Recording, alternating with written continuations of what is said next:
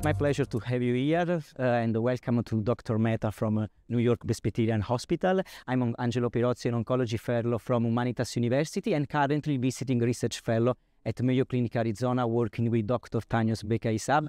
And it's a pleasure to have a guest so prestigious here. So Thank you so much for having me. Okay, my pleasure. So I have a couple of questions about your experience with upper GI cancers. Especially in the last year, there was a new approval for a very important drug. It's called zolbetuximab. And we know that this approval came from two important phase 3 trials, like the GLOW trial and the SPOTLIGHT trials, with different type of populations. But we know that there is a specific subgroup in the advanced setting of gastric and gastroesophageal junction cancer that can benefit from this target therapy. Zolbetuximab, we know, is going to target uh, Claudin 18.2, which is a new target in gastric cancer compared to the old HER2 positive.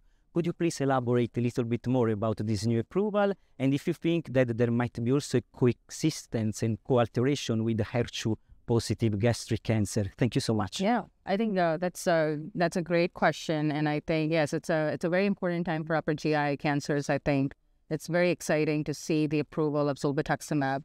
Um, just as a preface, what is Claudin 18.2? Because this is the very first time it's ever been introduced in oncology space. So Claudins are tight junction proteins that are typically found at the basal layer of cells.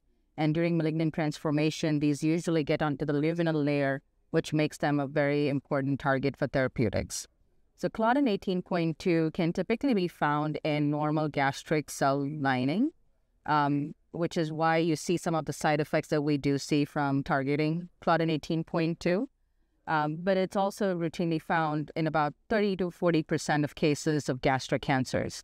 Now, the overlap with different biomarkers is anywhere between 10 to 15%. So if you look at maybe um, with HER2 positive, it could be anywhere between maybe 15 to 20%. Um, with PD-L1, is again about 15 to 20%, I would say. Um, so that's kind of the important overlap that you should be aware of. The two important trials that led to the FDA approval of zolbetuximab, which is the first monoclonal antibody targeting Claudin 18.2, were both designed for patients that are HER2 negative.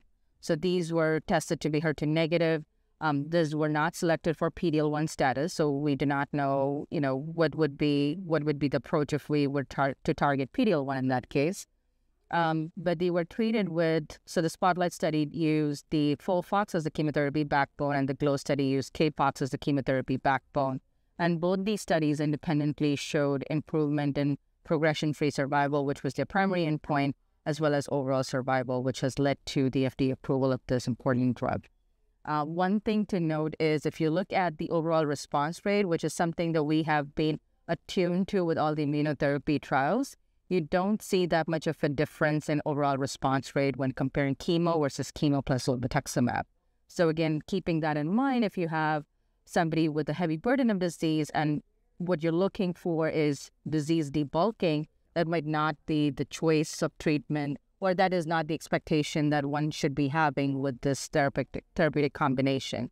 Um, but there are also some challenges in administering the drug. So as I mentioned to you, these are found in normal gastric cell linings, which is why when we disrupt them with the Claudin 18.2 targeting agent, um, they cause a lot of gastritis, which thereby lead to nausea, vomiting.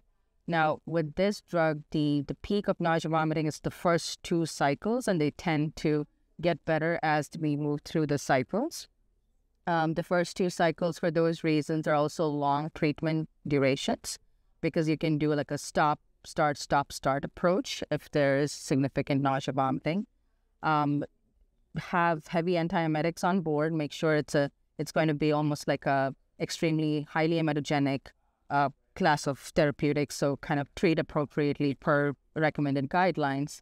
Um, but once the first two treatments are done, um, you you probably can expect some improvement in that nausea, vomiting, and hopefully the patient should get through safely. Okay, so much interesting. And did you notice also a relationship between efficacy and toxicity? Because, you know, in some types of cancer, like HCC, we know that in that case, for immunotherapy and even for target therapy, even if we think about cetuximab in head and neck cancer, there is this correlation between the grade of toxicity experience. Of course, we can discuss about the type of toxicity, so not all types of toxicity are the same, and the efficacy outcome. Do you think for zolbetuximab, did you experience something like that? There are data about that. So the idea is to manage toxicity, but not to stop the treatment. This is true even for zolbetuximab. I would like to have your kind Yeah. opinion. I think it has more to do with how it's disrupting your gastric wall lining, uh, but it's not correlated with the response. I, I don't think so. That is what it's being noted to be.